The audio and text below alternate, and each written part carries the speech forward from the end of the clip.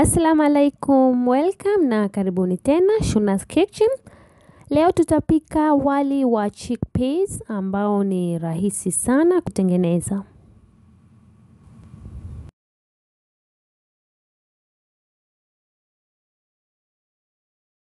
Tutahitaji mchele uh, I mean wali uliopikwa mchele vikombe viwili.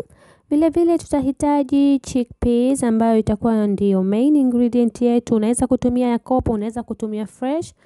Vile vile tunahitaji carrot iliyokatwa katwa nusu kikombe kiasi.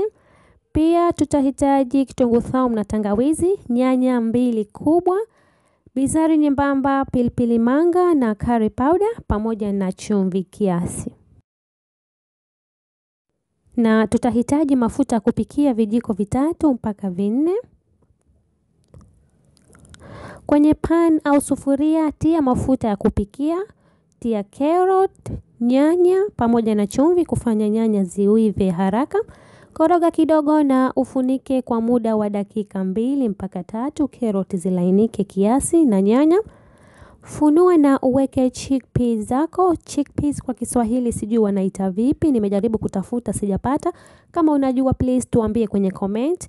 Pamoja na vitu vingine vilivyobaki ambavyo nilivitaja. Funika tena kwa muda wa dakika mbili mpaka tatu. Uangalie kama vyote vimeiva. Uanze kuweka wali wako ambao uliupika. Hapa unaweza kufanya njia nyingine kama kila kitu kimeiva, ukachukua mchanganyiko wako wa chickpeas na ukaweka kwenye bakuli lako la wali na ukachanganya. Lakini nimependa kufanya njia hii ila unaweza kufanya njia hiyo nyingine ambayo nimesema.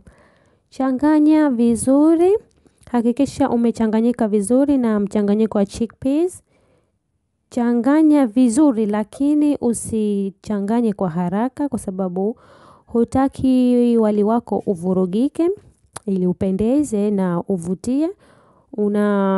Unatakiwa uwe kama ulivyokuwa mwanzo kama ulipika umenyooka au kama umetumia mchele mwingine pia is okay lakini mi napenda uwe mmoja mmoja. Kwa hiyo koroga taratibu usiuvunje ama usiuponde sana wali.